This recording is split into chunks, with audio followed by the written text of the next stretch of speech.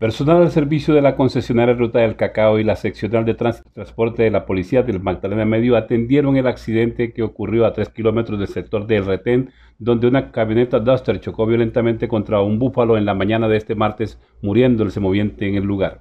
El vehículo quedó afectado, su conductor fue remitido a un centro asistencial. Aún no se conoce parte médico del herido en este hecho insólito. Las autoridades hicieron presencia en el lugar para adelantar las indagaciones de rigor, entre ellas la de saber quién es el propietario del semoviente muerto en este accidente.